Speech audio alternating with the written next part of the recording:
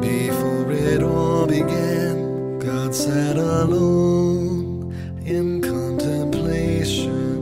He came up with a plan to make a glorious creation. He made the earth man to live there always. God is the great I am.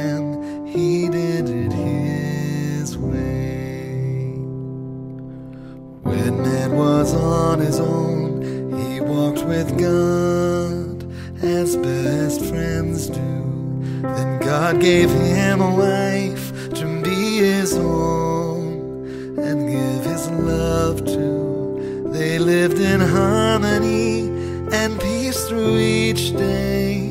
Alone, though not alone,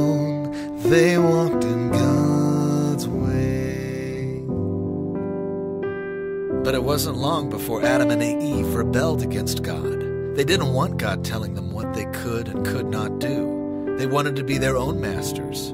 They wanted to know about good and evil so they could decide for themselves. They became proud, like Satan, and wanted to be equal with God.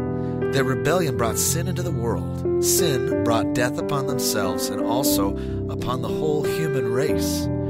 They did it their way.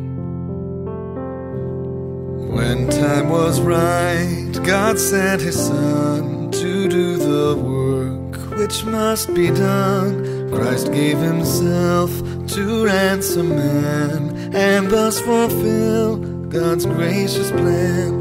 The Bible shows he took the blows and saved us God's way. Now once again we walk with God, for we are saved by Jesus' blood. We praise his name, for he is real, and ask for favors when we kneel. And at the end, then we can say, We did it, God.